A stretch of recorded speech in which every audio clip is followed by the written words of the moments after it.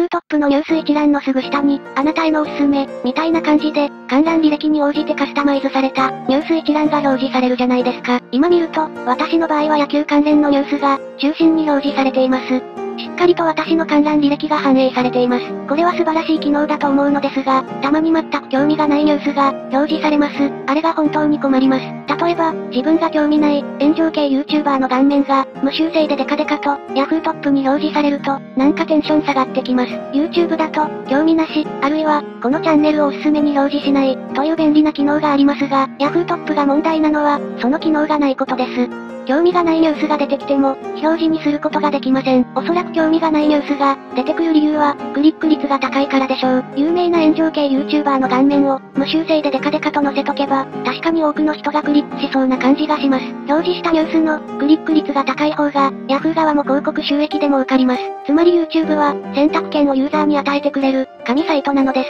やっぱり YouTube って、神だわ。最後までご視聴ありがとうございました。